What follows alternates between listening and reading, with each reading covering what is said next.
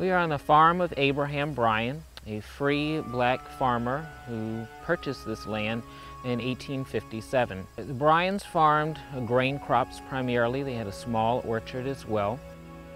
Owning property gave people a sense of autonomy and that they were clearly capable of taking care of themselves, despite a lot of literature at the time that said that they were not.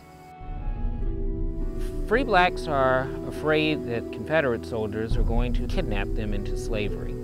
And Confederate troops planned to do exactly that as they moved through smaller towns in uh, the southern part of Pennsylvania. And so the Bryan family, like many other free blacks here in Gettysburg and surrounding towns and counties, escaped, moving elsewhere, many to go to Harrisburg, Pennsylvania to get away from the Confederate forces.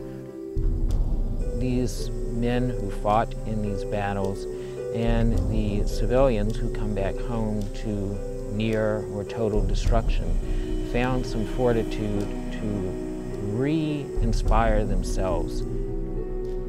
When Francis returns here, they resume farming because they wanted to illustrate to themselves and to others that they had the capability to survive.